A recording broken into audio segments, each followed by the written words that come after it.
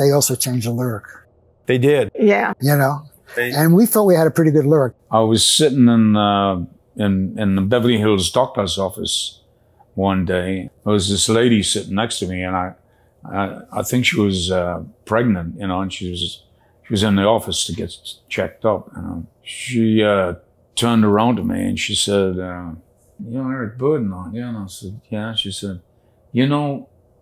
My husband and I, we hated what you did with our song. I said, "Oh, I'm terribly sorry."